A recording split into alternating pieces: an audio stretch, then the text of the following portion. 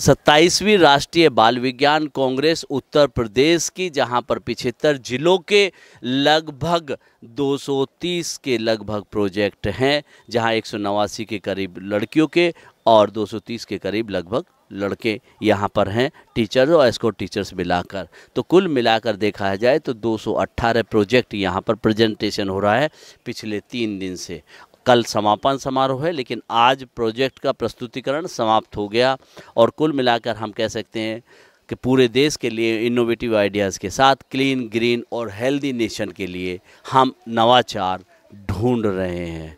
और निश्चित रूप से इसमें बालक और हम सब मिलकर बाल विज्ञान कांग्रेस जो अपने पूरे 27 साल की पूरी हो चुकी है एक नौजवान बाल विज्ञान कांग्रेस हो गई है। उसके अंदर के ये यंग साइंटिस्ट नए नज़रिए के साथ नवाचार की बात करते हुए दिखाई देते हैं। उदाहरण के तौर पर आइए हम कुछ बच्चों से बात करते हैं। उत्कर्ष यस सर कौन से ज़िले से हो आप? इधर आजमगढ़ से सर आजमगढ़ से। क्या बनाया आपने? सर मैंने एक ऐसी मशीन बनाई है जिसे एक बार चार्ज करें हम मल्टीपल टाइम उसका यूज़ कर सकते हैं। अच्छा मतलब ये बैटरी से चलेगी कैसे चलेगी?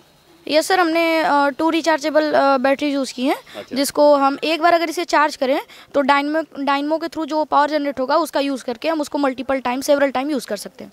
यानी कि क्लीन ग्रीन और हेल्दी नेशन के लिए ऊर्जा का स्रोत को रिसोर्स को तैयार करने की बात उत्कर्ष कर रहा है आजमगढ़ से।